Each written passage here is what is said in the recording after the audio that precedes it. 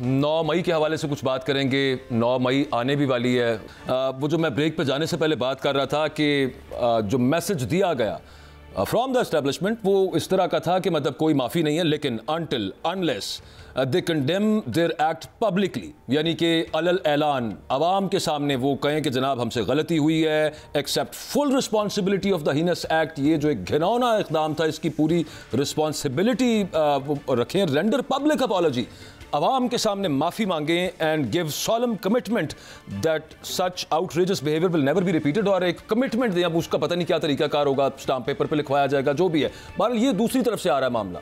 ये तो नहीं कुछ होने लगा आपकी पार्टी। कभी भी नहीं मानेगी इमरान खान साहब इस पर नहीं मानेंगे। आप जुडिशल कमीशन की बात करते हैं। तो ये तो डेडलॉक है इफ़ यू सी दैट नौ मई को जो कुछ भी हुआ वो बहुत बहुत अनफॉर्चुनेट था बहुत रेप्रीहेंसिबल लेकिन आपके कहने से क्या मैं मुजरिम हो जाऊँगा या मेरे कहने से क्या आप मुजरिम हो जाएँगे? नहीं। पहले जुर्म हुआ है तो मुजरिम का तयन तो करें ना और मुजरिम का तयन करने के लिए एक प्रोसेस होता है।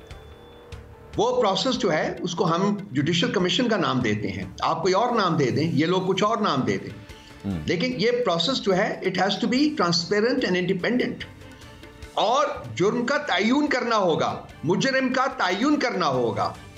उसके बाद ये सवाल पैदा होता है कि किसने किया क्यों किया क्या मुहरकत थे क्या वजूहत थी और आगे कैसे बढ़ना है। मेरी ऑफ़र है एक ट्रांसपेरेंट कमीशन बनाइए। इन्वेस्टिगेट कराइए।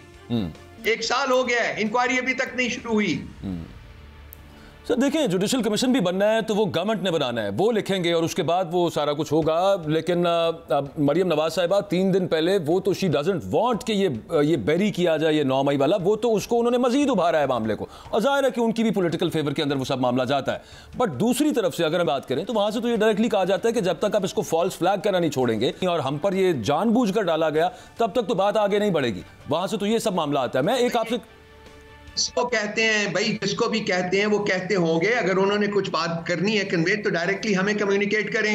हम्म। हम अपना जवाब उनको देंगे डायरेक्टली तो बात आगे बढ़ सकती है। ये जाली चीफ मिनिस्टर जो हैं पंजाब की जो अपनी सीट भी हार के उसके बावजूद चीफ मिनिस्टर बनी हुई है इनका इन, इनकी हैसियत क्या है? इनके पास है क्या? अच्छा प्रभु साहब ये बताइएगा। कम्युनिकेशन करने के लिए मैसेज अगर आप आप मसले के हल करने के लिए जेनुअन है आप हम्म। तो एक तरीका है आगे बढ़ने का। हम्म। क्या आप बताएँ?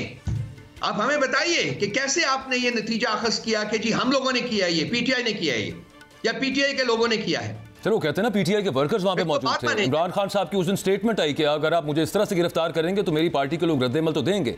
तो they connected to that statement देखिए देखिए it was it was a spontaneous emotional response to the way Imran Khan had been arrested सबके सामने है। और आपने देखा कि उसके बाद भी इस जुल्म जबर और फस्ताइत के आलम में भी उन्हीं लोगों ने पीटीआई को टू थर्ड मेजोरिटी से जितवाया हुआ है। हम्म। बिल्कुल पता है क्या हुआ है? हम्म।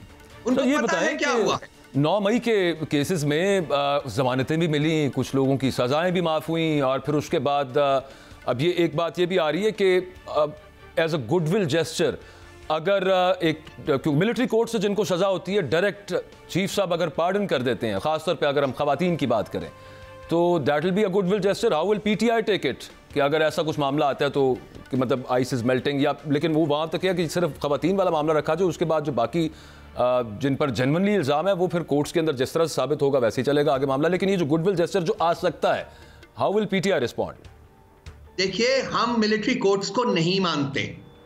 हमारी कंटेंशन है कि तमाम सिविलियंस के मुकदमात सिविलियन कोर्ट्स में चलने चाहिए।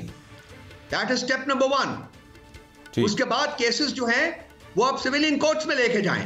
लेट्स सी के सिविलियन कोर्ट्स क्या डिसाइड करती हैं।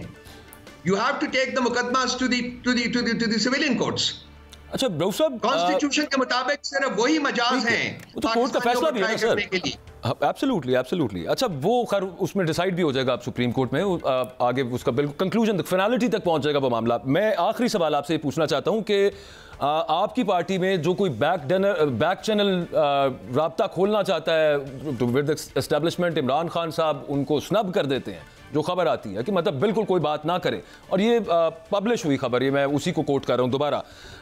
दूसरी तरफ़ आप कह रहे हैं कि बात करनी पड़ेगी, खान साहब बात करना नहीं चाहते, करने देते भी नहीं है तो बात कैसे होगी सर? और फिर ये भी चल रहा है कि वो कुछ ऐसे लोग हैं डबल एजेंट है, उधर भी रबते में, इधर भी रबते में, पार्टी तोड़ना चाहते हैं, ये सब कुछ पैराडॉक्सिकल है, मुतजाद है मतलब समझने के लिए, मुझे जरा समझा दीजिए। ये किसी देखिए ये डबल एजेंट्स के अलावा भी आप देखेंगे कि पार्टी को पिछले दो साल में किस किस तरीके से तोड़ने की कोशिश की गई है। क्या आपको याद है कि क्या क्या जुल्म और जबर हुआ है हमारे लोगों के ऊपर?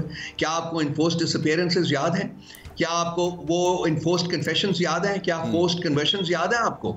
सबको याद वो लोग जो हमारे अंडरग्राउंड है पिछले सात आठ नौ दस महीनों से क्या वो याद है आपको? हम्म। लोगों की बिजनेसेस तबाह होना लोगों के घर टूटना लोगों के लोगों को रात के अंधेरे में चादर चार दीवारी को पामाल करना क्या वो याद है सारा कुछ? हम्म, हम्म। तो पार्टी को तो तोड़ने की पूरी कोशिश हो चुकी है। रियासत की सारी कोशिश जो थी वो मरकूज थी इस चीज़ के ऊपर कि हमने पीटीआई को एग्जिस्ट नहीं करने देना। पीटीआई ना सिर्फ़ सरवाइव किया है पीटीआई ने पीटीआई ने दो तिहाई अक्सरियत हासिल की है। ये रियलिटी है पाकिस्तान की जनाब। रोहू साहब जिनके घर टूटे जिन्होंने सऊबतें और बड़े कड़ा वक्त देखा उनको सियासी कमेटी में शामिल नहीं किया। आप लोगों ने वैसे ये भी एक हैरत अंगेज बात है। सब शामिल हो जाएँगे जी अपने वक्त के ऊपर। उनको अपने रोल्स हैं उनके जो वो परफॉर्म कर रहे हैं पार्टी के अंदर बैठे हुए। उनको उनके बहुत इंपॉर्टेंट रोल्स उनको असाइन किए गए हुए हैं जी। वो हैं जी। ये पार्टी का इंटरनल मामला जो पार्टी अपनी इंटरनली इसको हैंडल करती रहती है। तो मेरे आपके सवाल के जवाब में मैं जब ये कहूँगा खान साहब ने आज से साल पहले वो अरेस्ट होने से पहले उन्होंने एक कमेटी बनाई थी और उन्होंने कहा था कि अगर इस्टेब्लिशमेंट हमसे बात करना चाहती है तो इस कमेटी से बात करें। वो कमेटी अभी तक मौजूद है। इस्टेब्लिशमेंट अगर बात करना चाहती है, खान साहब ने कभी ये नहीं कहा कि मैंने बात नहीं करनी। एक उन्होंने पॉलिसी जो है, वो बयान दिया था और वो अभी तक उन्होंने वापस नहीं लिया हुआ। हम बात करने को तैयार हैं, पाकिस्तान के लिए, रियासत के लिए, पाकिस्तान के अवाम के लिए।